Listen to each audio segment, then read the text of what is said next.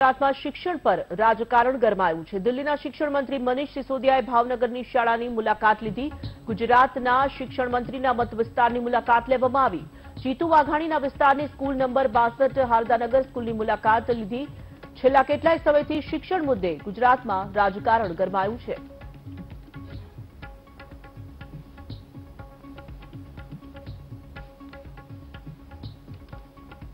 તો છેલ્લા કેટલાય સમયથી ગુજરાતમાં રાજકારણ શિક્ષણને લઈને ગરમાયેલું જોવા મળી રહ્યું છે અને તેમાં ફરી એક વખત વધુ એક મુદ્દો ઉમેરાઈ રહ્યો છે. ગુજરાતના શિક્ષણ મંત્રીના મત વિસ્તારની શાળાની મુલાકાત લેવા માટે દિલ્હીના શિક્ષણ મંત્રી મનીષ સિસોદિયા ભાવનગરની મુલાકાતે પહોંચ્યા અને તેઓએ ભાવનગરની શાળાની મુલાકાત લીધી.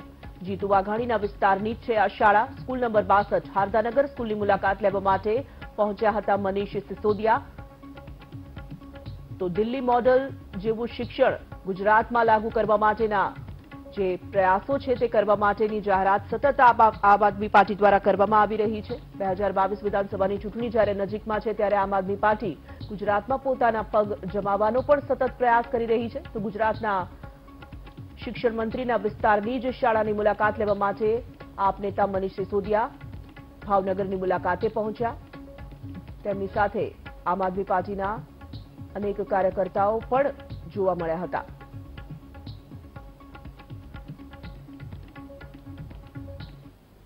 रखो यार गुजरात के शिक्षा मंत्री जी ने कहा अभी कुछ दिन पहले कि हमने गुजरात की शिक्षा व्यवस्था इतनी अच्छी कर दी है कि या तो यहाँ पढ़ लो और जिसको गुजरात की शिक्षा व्यवस्था अच्छी नहीं लगती वो गुजरात छोड़ के दिल्ली चले जाओ तो ये बड़ा एरोगेंट बयान लगा मुझको तो मैंने सोचा कि फिर हम भी देख लेते हैं भाई, गुजरात में 27 साल से भारतीय जनता पार्टी है, इन्होंने क्या किया है? तो मैं इधर आया हूँ आज शिक्षा मंत्री जी के विधानसभा क्षेत्र में। मैंने सोचा कि शिक्षा मंत्री जी ने अपनी विधानसभा क्षेत्र में तो स्कूल बड़े वर्ल्ड क्लास कर दिए होंगे, जिससे लोगों को दिक्कत ना हो। तो यहाँ मैं आया और देखा कि शिक्षा मंत्री जी की अपनी विधानसभा में स्कूल ऐसे हैं। अभी एक छोटे स्कूल में आया मैं। अब आप देखो यहाँ चारों तरफ़ अगर आप यहाँ से दिखाओगे मेरे इसके बाद में सारी दीवारें टूटी पड़ी हैं। अब उनको पता था मैं आज आ रहा हूँ तो जाले की बेचारों ने साफ़ सफ़ाई तो करने की कोशिश की है लेकिन सारे जाले अभी भी लगे हुए हैं। मकड़ी के जालों के बीच टूटी फूटी दीवारों वाले के बीच आप दिखाना ये देखो जरा पीछे हटो। ये इनके मध्यान्ह भोजन। मध्यान्ह भोजन प्लस बोर्ड भी लगा हुआ है यहाँ क्लास भी चलती है। तो ऐसे खुले में क्लासेस चल रही हैं अंदर भी क्लासेस हैं। अब खाली एक स्मार्ट बोर्ड टांग दो। तो अभी स्कूल अच्छा हो गया, टूटी हुई दीवारें, मकड़ी के जाले, नीचे क्लासरूम में गया, वहाँ पे पता चला बच्चों के पास में फर्श भी नहीं है बैठने को। तो मतलब फर्श तक नहीं अगर शिक्षा मंत्री अपने स्कूल में दे पाए हैं अपनी विधानसभा में। टूटी हुई दीवारों के बीच में, मकड़ी के जालों के बीच में सड़े हुए वातावरण में अगर हमारे बच्चों को पढ़ा रहे हैं वो तो जिन लोगों ने शिक्षा मंत्री जी को चुन के भेजा, जिन लोगों ने शिक्षा मंत्री जी को शिक्षा मंत्री बनाया कम से कम उनका तो ध्यान कर लेते कि उनके बच्चों को इतनी टूटी हुई दीवारों में मुझे देख के डर लग रहा है कि इतना रिस्की है, कभी भी गिर सकता है। और इतनी गंदगी की मकड़ी के जाले साफ़ करने के बावजूद नहीं हटे। सुबह से सफ़ाई लग रही है, उनको पता है मैं आ रहा हूँ, सफ़ाई लग रही है। उसके बावजूद अभी भी मकड़ी के जाले नहीं हटा पाए।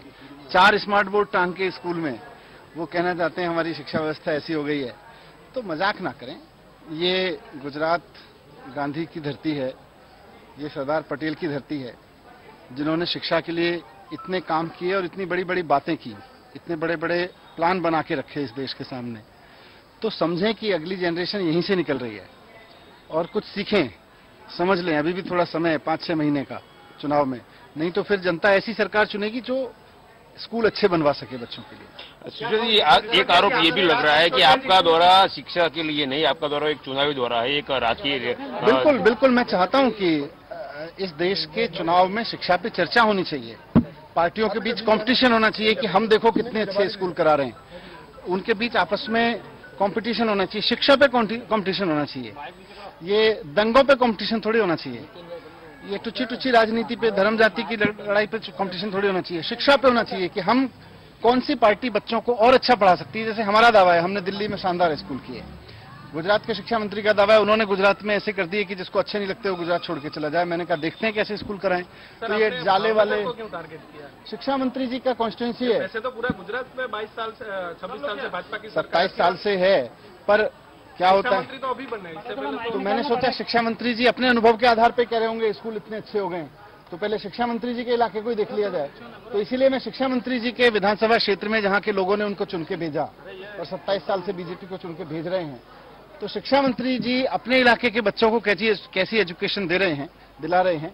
मैं यही देखने आया था। और यहाँ देखा मकड़ी के जालों में टूटी हुई दीवारों में बहुत बुरे तरह से सुबह से सफ़ाई करने में लगे हुए हैं। फ़र्क क्या आपने क्या देखा? अभी आप मुलाकात फ़र्क क्या है? दिल्ली के स्कूलों और यहाँ। यही दिख रहा है कि यही दिख रहा है कम से कम हमने पीने का पानी किया हुआ है साफ़ टॉयलेट किए हुए हैं। दीवारें इस तरह की रिस्की नहीं है कि बच्चे गिर जाएँ। भैया बच्चों को कहीं रिस्क हो। पढ़ाई तो रोज बच्चों की हो रही है। तो ये सारे अंतर तो हैं। और कम से कम स्कूल बच्चों को स्कूल लगे ना चार छह घंटे के लिए बच्चा स्कूल आता है, टीचर स्कूल आते हैं तो उनको लगे कि वो किसी डिग्निफाइड जगह पे बैठ के पढ़ रहे हैं, पढ़ा रहे हैं। वैसे तो ये सवाल वैसे वैसे तो